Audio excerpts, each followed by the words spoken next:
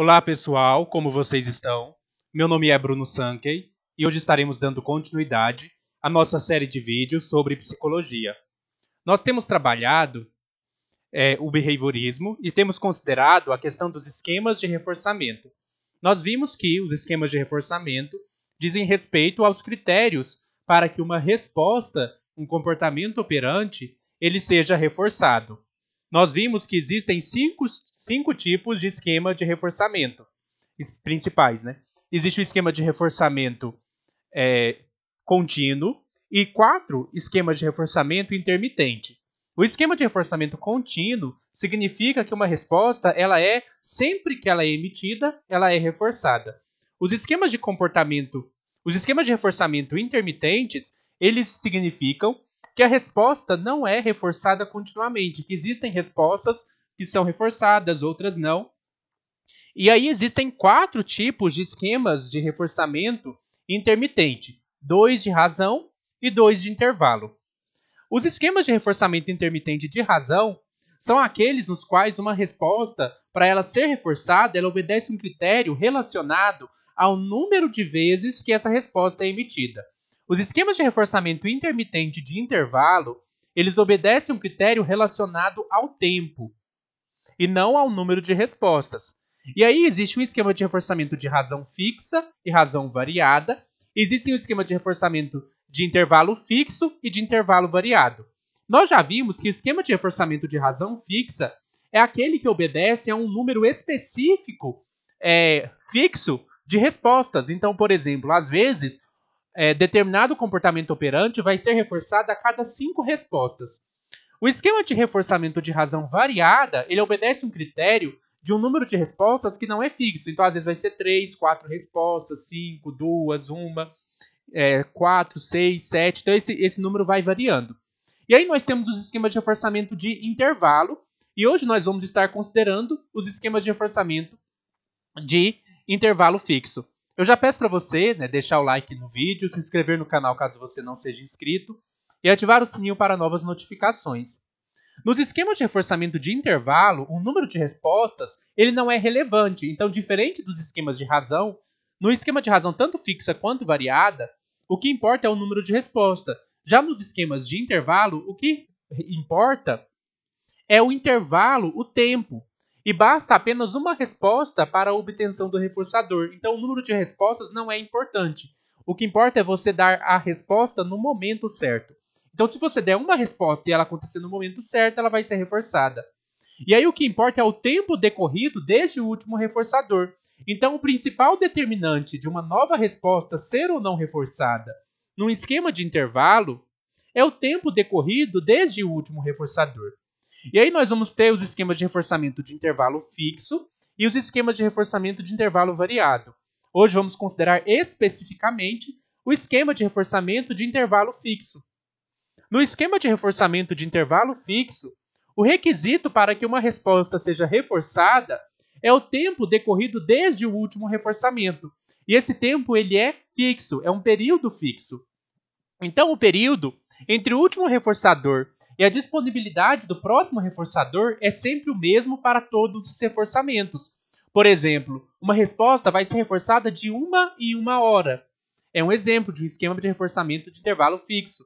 Por isso, a gente chama ele de intervalo fixo, ou seja, os reforçadores eles estarão disponíveis depois de transcorridos intervalos fixos desde o último reforçador, desde o último reforçador. Então vamos aqui considerar alguns exemplos. Vamos supor que eu quero assistir o programa da Fátima Bernardes. O programa da Fátima Bernardes passa é, de sempre às 5 horas da manhã, né? Então, se a gente for contar das 5 horas da manhã até. Vamos supor que passe das 5 horas às 6 horas. Então, para eu conseguir assistir, eu preciso ligar a TV às 5 horas ou um pouco depois, ainda dá para assistir.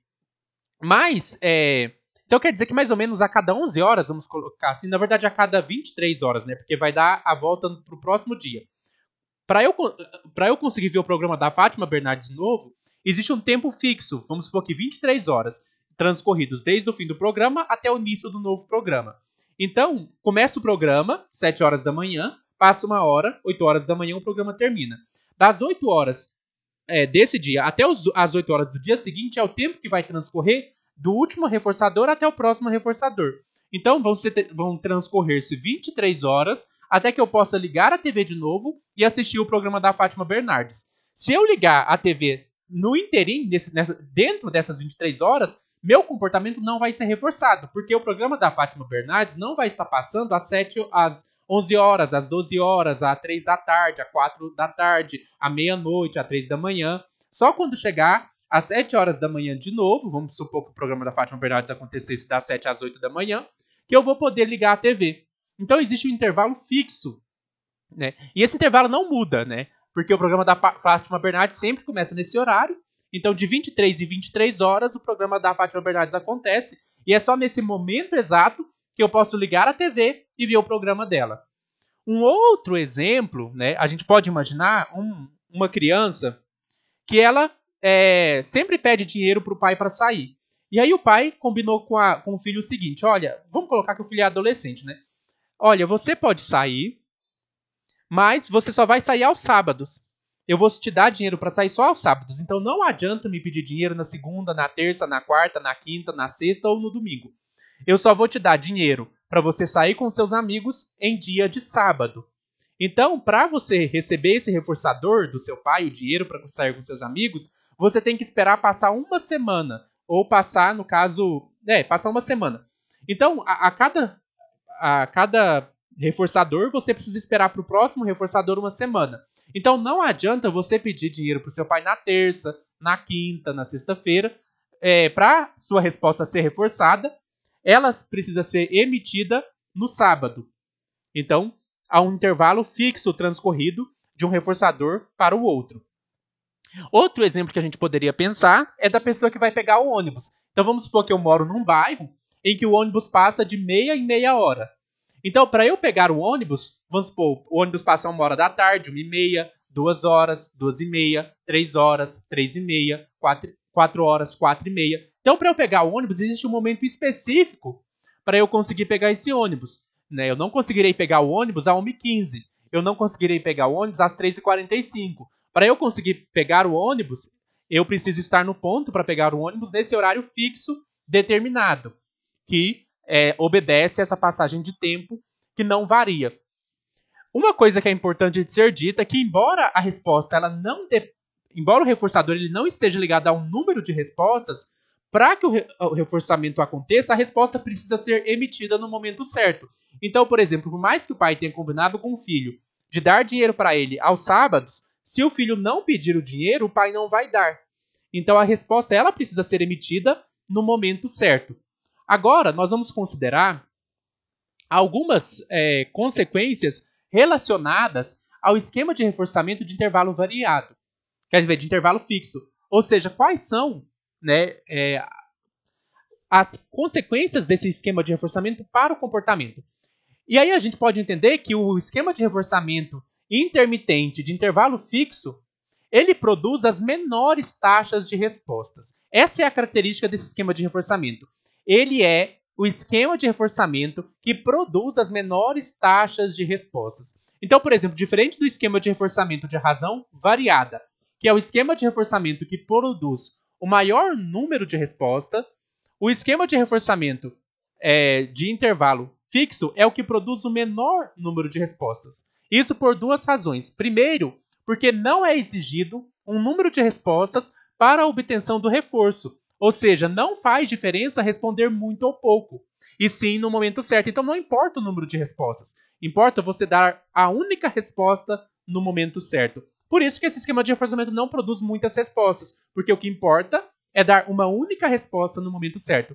E o segundo motivo é que o esquema de reforçamento de intervalo fixo produz as maiores pausas após o reforçamento uma vez que a discriminação temporal entre o reforçamento e o não reforçamento é facilitada pela regularidade das durações dos intervalos entre reforçamentos. O que isso quer dizer? Quer dizer que depois que você emite a resposta, você sabe que para sua próxima resposta ser reforçada, será preciso esperar um intervalo fixo de tempo exato.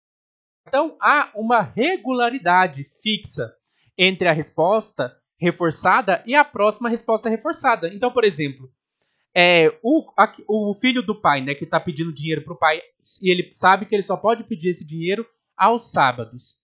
Então ele vai precisar esperar até o próximo sábado para pedir dinheiro ao pai novamente. Então ele sabe que depois de pedir dinheiro no sábado, não adianta ele pedir na segunda, nem na terça, nem na quarta, nem na quinta, nem na sexta, nem no domingo. Então ele vai ter que esperar até o próximo reforçamento.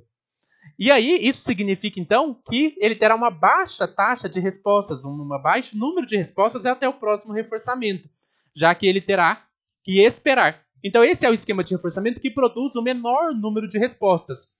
Existe um efeito chamado de efeito Scallop, que acontece não muito com seres humanos, mas acontece mais né, nos experimentos com animais, que é um efeito que acontece mais ou menos assim. É, que é um padrão característico. Como a, a, vai acontecer mais ou menos o seguinte, né? É como o reforço ele depende do tempo, que será sempre o mesmo, é fácil para aquele organismo discriminar, né, que, que não vai ter o, o, próximo reforçador logo depois da resposta. Portanto, o padrão característico é, do esquema de reforçamento de intervalo fixo envolve longas pausas após o reforço, como um início lento no responder e um aumento gradual na, na taxa de resposta, que está máxima no momento da próxima disponibilidade de reforço. Vou explicar o que é isso, né? Vamos pensar no experimento com o ratinho. O ratinho está ali dentro da caixa de Skinner, né? O ratinho. E ele sabe que para ele conseguir alimento, ele precisa esperar um tempo. Então vamos supor que a, a caixinha só, só vai dar alimento para ele de meia em meia hora. Então ele, vamos supor, ele, ele bateu na caixinha, né? Recebeu a comida às uma, uma hora da tarde. Agora só uma e meia que vai ter comida de novo. Então depois que ele apertou a, a barra e recebeu o alimento, ele vai parar de responder e quando estiver chegando perto da 1h30, então ali para as 1h20, 1h25, ele vai começar a apertar a barrinha muito, até receber o alimento. Por que, que isso acontece? Porque o rato ele não tem um relógio.